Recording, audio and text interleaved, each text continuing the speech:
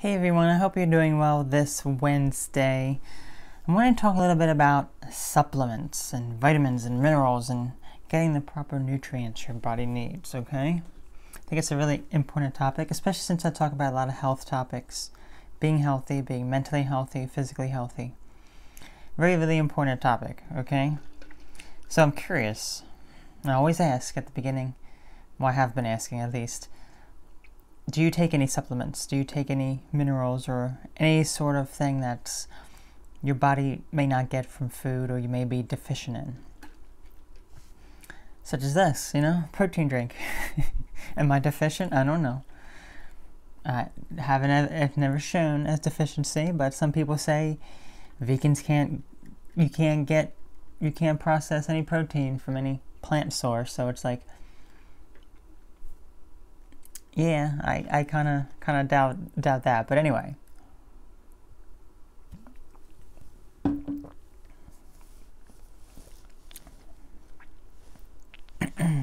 Being a vegan, a lot of people think you're so deficient in certain vitamins and minerals and everything.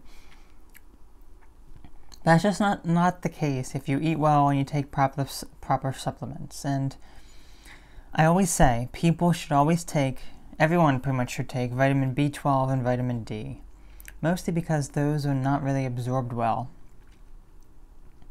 um, from the type of diet that we have. Like, we don't really have very many foods that are rich in those sources, and we're not out in the sun enough. That is why people get sick in the wintertime because of vitamin D lowering so much. It's not so much vitamin C. I mean, vitamin you always think vitamin C for your immune system. I mean, that can help but it's primarily vitamin D that will help fight against colds and has been shown to be probably the most effective tool against the flu. Okay? Not not what you think it is. No, no, no. Not not not what the news and, and, and your doctor says it is. No, it's it's a vitamin D is the ultimate way because that's your body's natural way of boosting your immune system and that's been been shown time and time again that when you take vitamin D, you, you don't get sick as often. That's not going to prevent you entirely, mind you, okay? I still get, get sick occasionally. I got sick, uh, I want to say the middle of this year or so. It was actually in summertime, but I think because I was just under so much stress because I was just so so busy and just doing way too too much, and it was just it was overwhelming for me. So I had to calm it down. I had to calm it down. I was doing multiple different projects. I was had all multiple different jobs that I was working with and working on. It was not good. It was not good, but anyway, so regarding supplements, I take vitamin D and vitamin B12. And vitamin D is not technically vegan unless you buy the vegan kind. It comes from sheep's wool. Okay? But I get the vegan kind my, my vitamin levels have been fine. They've been tested. I'm actually going to be tested really soon, so you'll be able to see the results of that over the next probably week and a half. I'll get the results back.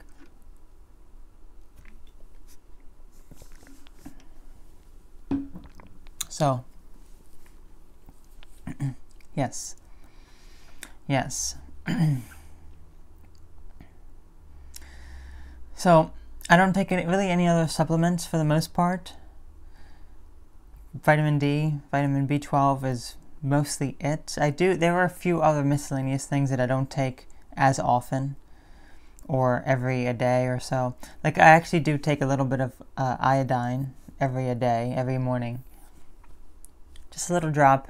I forget how much it is, but it's you know, it's that's also another mineral that at least here in the United States we're deficient in helps your thyroid.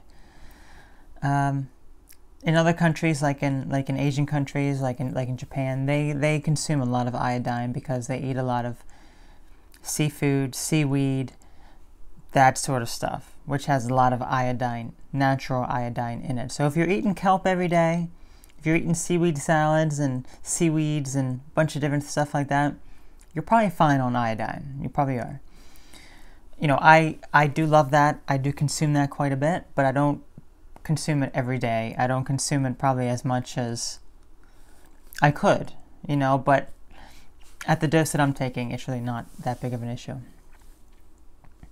Let's see what else. I also take just once or twice a week. I take a DHEA, which that was for like testosterone. At this point, my testosterone is going up quite a bit. I think it's due, honestly, to this. Why this? Because I have creatine in this. I, I consume this maybe four, four or five times a week. I think that's really boosted my testosterone. so I actually had to cut back a little bit on it because I noticed like I was starting to grow more hair. My uh, facial hair was getting thicker. My voice was getting deeper and lower. I was like, oh, that's some powerful stuff right there. Because my testosterone has has been low before. Mm. And really, the only other supplement I take is the Joy Organics CBD. And, you know, I don't take that every day. I kind of alternate. I, I, there are a few days I take it, and then I go off of it for a little bit. You can save 15%. JoyOrganics.com. AUT15. Save 15%. So let me actually, I guess I can I can show you real quick, and then I'm curious to know what supplements you take, if any. Because ideally you want to get everything from food, but that's not always possible. So that's kind of why I take what I what I do. Okay. Joy Organics CBD AUT15 if you want to save. Global Healing Center, B12. I'm actually running low. Take that once a week. That's it, just once a week. Vegan D3 by Sports Research. These are uh, ca uh, capsules. I was taking a liquid, but they discontinued it on the way I was uh, the way that I was getting it. So this is what I'm taking now. I take this once a day. This is 5,000 units. DHEA Complete. I just take this probably once or twice a week. Sometimes I, I forget the other dose, but that's it. Um, this is promotes optimal hormone levels and weight management. I'm not using it for weight management. I can guarantee you that. Um, I don't take it every every day as it is anyway, but this definitely helps. Let me tell you, these what I these are what I call horny pills. You it doesn't really happen as much anymore. I actually I think I think I think it still does. I just don't pay attention to it as much anymore. I take this half hour later after it goes through my system first thing in the morning. Oh, I am horny. I can tell you that right now. Uh, so that's pretty much what I take daily, and just you know the the hormones that I take every every day, and that's pretty much it. And then you know this protein drink with creatine. The protein drink is kind of like a multivitamin. So it has a variety of different vitamins and minerals in it. I used to take a multivitamin, but I don't any, any anymore. I didn't find any use for it really. Uh, especially if I'm having this. This is this acts as a multivitamin, so there's really no no point. But yeah, that's pretty much it. So curious to know what you take, if you take anything, and let me answer some of your, your questions in the previous video, or, or just read off your comments. It was about sleep. If you sleep too much, and why you shouldn't sleep too much. No, no, no. You definitely should not. Okay. Let me just see real fast. Yeah. If you sleep too much, you're going to have a bad time, right? You're going to have a bad time. Okay. Just got to see something real fast. All right. So, our first comment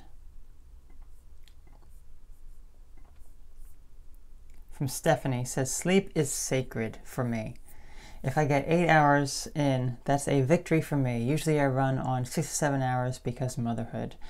Yeah, sleep is definitely very, very useful, and you should always think of it as a, a sacred thing, absolutely, because you're relaxing your mind and your body and you're connecting to your to your higher self, I guess you could you could compare it to. And it's a good good way of putting it, good way of seeing it, and why you should always value it because it's it's fuel for your uh, body essentially. It's how you go go about things and how you can um, improve your uh, your life by getting adequate sleep, being healthy. Kryptonite says, You're not the first person, not the only one, uh, but I also sleep too much. Definitely got to prove that there.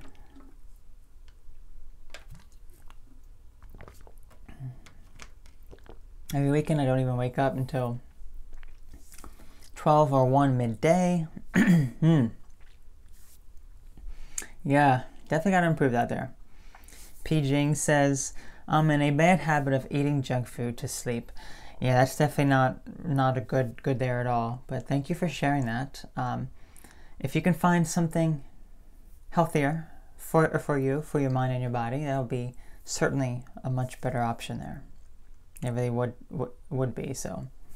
Hopefully, you'll be able to find something that's even better to help you sleep. Jess says, usually when I try to have a nap, I end up sleeping for four hours. See, that's what a lot of people do. And guess what? That's not a nap. That is sleep. Four hours is pretty much sleep. That is not a nap. So if that happens to you, then you need to learn to set an, set an, set an alarm. I don't have to set an alarm because my body's used to it, but if that's what you need, if that's what you need to do, then do it. Debbie says only take naps when I am sick. Lava Girl says I get sad this time of year, seasonal affective disorder. Indeed, if you're taking vitamin D, that can help. That, that is actually one of the remedies for seasonal affective di- disorder. Because vitamin D surprisingly does help with depression. Because they can, low, low vitamin D levels can cause depression. So, there you go. Katie Litter says, I average five to seven, seven hours a night and usually take a nap in the evening. Hopefully, your nap's about 20 minutes long because that's a good adequate a number of sleep there. If you do about five to six hours a night plus 20 minute nap, it's pretty good. And then Aaron says, I feel like this. I've been sleeping way too much, and my sleep schedule is becoming a massive problem. I am napping regularly and tossing and turning at night and sleeping all morning. I do a fair amount of editing in my job, and I have about 700 pages to edit by Friday. I gotta get it together. So Aaron, yeah, that is that is a big problem there. And if if it's it's okay to nap regularly if you have a plan and you are you know only doing it for about 20 minutes.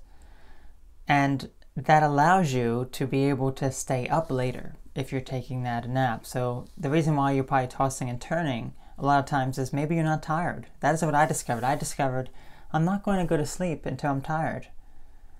I'm not going to go into that bed, toss and turn around for like two hours and waste my time when I'm not actually tired. I'm going to go in there when I'm actually tired. Okay? So that is what I do. That is how I see things, and that is what I have done to actually help some some things out. I mean, obviously, it's not perfect, but it's definitely better than what it was just tossing and turning for like two hours, and it's like, ugh. But yeah, that was it. Again, let me know your thoughts. Have a great day, and uh, I will catch you again later, alright? You all take care. Bye bye.